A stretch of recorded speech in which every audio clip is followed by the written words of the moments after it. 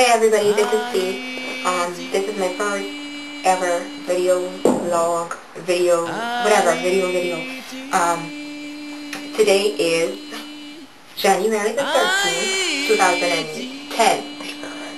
And it's about 11.25, I think. And, um, the reason I'm doing this video thing, sorry, it's like you want to thing, but the reason why I'm doing this is because yesterday, um, an earthquake happened in Haiti. And at first, I, I, I just assumed that it was, you know, a minor earthquake. I saw it on Facebook on somebody's status, you know, that um, an earthquake happened in Haiti. So I thought it was just a minor earthquake or, you know, nothing major, nothing too disastrous. And then I saw that there was a tsunami warning for the Bahamas, Cuba, and the Dominican Republic. So I was like, what? But it still didn't hit. I was like, yeah, you know, um, until I went on Twitter and people were like, oh, you know, this building is collapsed, this building is collapsed, this building is down, a hospital collapsed, a school collapsed, um, government offices are, are, are, are gone, the UN office is gone, and then I started to panic. But I was still hoping that it was just, it was just infrastructural damages, but not loss of life, or if was loss of life, just very limited. Until I was getting ready to eat dinner, and the pictures started to come in this time, and they had pictures of people just in the street, and um, I was like, okay, you know, but it still didn't hit me until I saw a picture of the National Palace. I saw a picture of the cathedral. I saw pictures of people stuck in buildings. I saw pictures of buildings on top of a car. I saw that um, the marketplace was gone and numerous buildings were gone and at that moment I panicked because that's when it really hit home that this is not a minor earthquake. I am in Canada right now. I have family in the Bahamas. But the majority of, well, I wouldn't say the majority, but we have a lot of family members in Haiti. We have a lot of family members in Port-au-Prince. So I was trying to call in the Bahamas so I could get in contact my mom to see if she had heard anything and the lines were busy, there was no connection going into the Bahamas. Until finally when I got in contact with her, she said that uh, my uncle, her brother, had just left for Haiti the day before. So he went to Haiti on Monday. And he and his wife were both in Pétionville. And... Have you heard anything from them? No, not yet.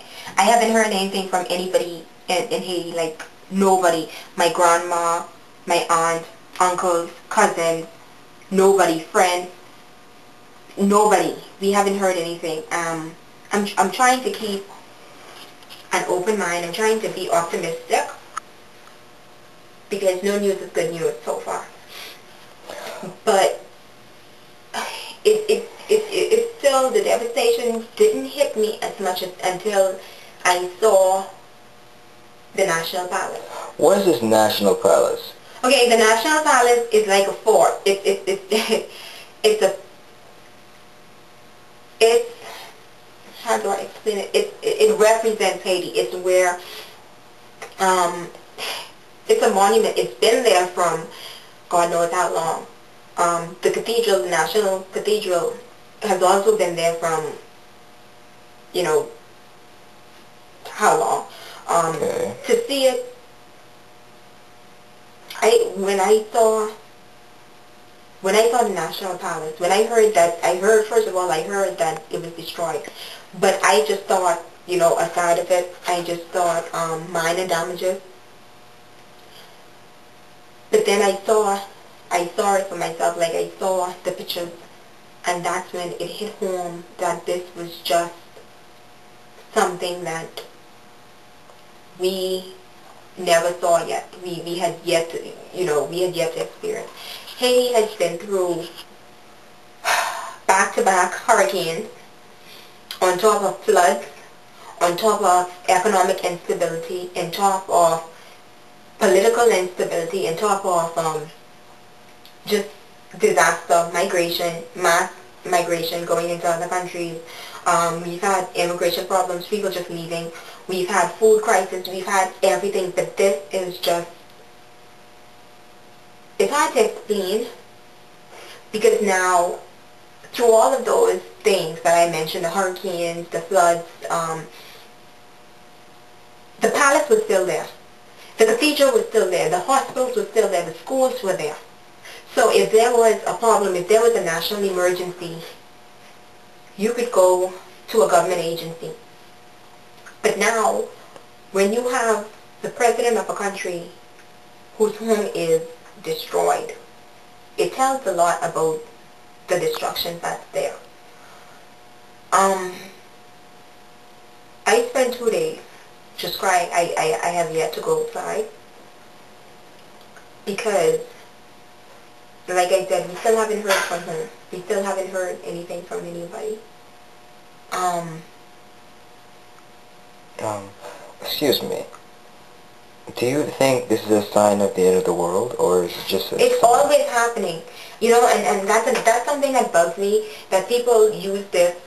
Two things that bug me of this situation. One, that people all of a sudden were claiming, oh, it's because of the witchcraft, it's because of the voodoo, it's because... But isn't it true that you guys do We're that? not the only country.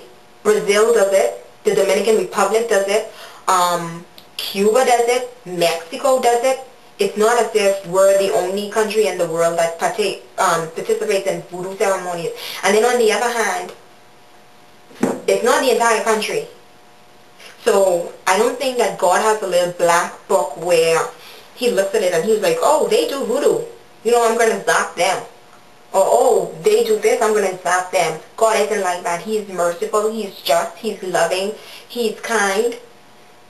Um, not saying that we're- people are supposed to take advantage of it, but it's easy to claim that some it's because of somebody's sin why they're suffering until you're in that position. Because Job, when Job was in his position, he, he left, he lost his kids, he lost um, his home, he was sick, and the first thing that came to people's mind was, oh, he must have done something. You know, so it's easier to say, to say that when you're not in that position.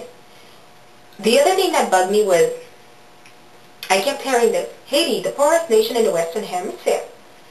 I'm like, isn't there any way, any other word that these media people could use?